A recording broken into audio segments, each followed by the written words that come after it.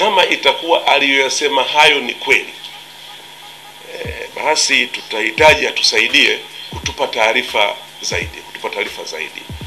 Na, na nafikiri pengine e, kwa kuwa tunautafuta uhalisia, lakini si vibaya pia e, RPC wa kanda maalum ya Dar es Salaam, na kwa sababu tunafahamu kwamba yuko Dar es Salaam e, kumtafuta ili tuweze kupata maelezo yake zaidi, kwa sababu tumesikia akiwa anazungumza na waumini wake, lakini tungetamani tusikie akiingia kwenye rekodi, ili pale inapowezekana tuweze kushughulikia mambo yetu. Nchi yetu ni nchi inayoongozwa kwa, uta, kwa, utawala wa, wa haki na sheria.